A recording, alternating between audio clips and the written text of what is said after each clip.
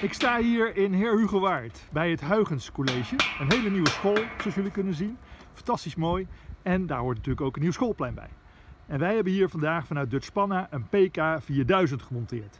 Mijn collega Arjen is eh, de laatste hand aan het richten aan eh, de kooi om eh, de mooie afwerkte dopjes erop te zetten. Zodat alles netjes glad en hufter en vandalisme proof is.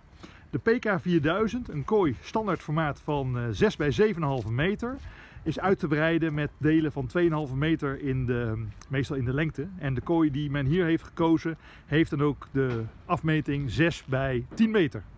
En de 6 bij 10 meter geeft jou een enorme ruimte om uh, lekker een potje voetbal, panna of uh, trefbal te spelen. Nou, dat is hartstikke multifunctioneel. Uh, laag in hoogte, dat is ook heel functioneel qua dat het plein niet gelijk heel erg vol lijkt. Kijk, je kan natuurlijk ook een 2 meter hoog uh, hek nemen, maar hier heb je niet gelijk direct een dreiging dat de bal de weg opgaat of uh, in ieder geval andere hinder veroorzaakt. Deze kooi die, uh, ja, die heeft uh, ook dubbel gaas, speciaal ontwikkeld gaas van Dutchpannen, waardoor het ook geluidarm is.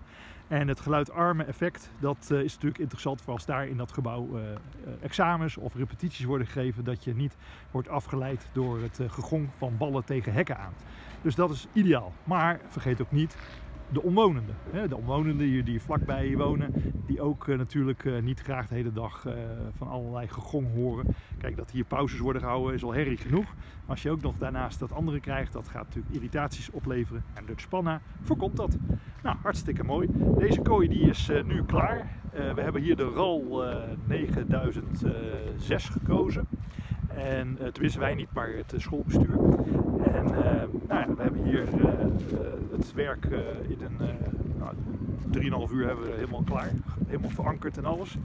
En ehm, de ondervloer is hier standaard, zoals je kan zien. Dat zijn tegeltjes van, uh, wat is het Arjan, 15, 15? 20 bij 20. Oh, 20 bij 20. Dus dat kan ook. En ja, natuurlijk nog mooier als je het kan afwerken met een G3 sportvloer. Dat is hier dan niet gekozen, wellicht uh, voor in de toekomst. We zullen zien of hier uh, daar nog over te praten valt natuurlijk. En dan is die nog mooier en nog meer af. Maar laten we wel zijn, wat hier staat gaat heel veel plezier opleveren. Kleine tip, als je een lage kooi neemt, 50 centimeter hoogte in dit geval. Neem dan alsjeblieft een zogenaamde plofbal of streetvoetbal, een all-weatherbal. Dutch Spanna heeft een heel mooi professioneel assortiment voetballen. En het mooie van deze voetballen is, is dat uh, de bal niet zo erg hoog stuitert.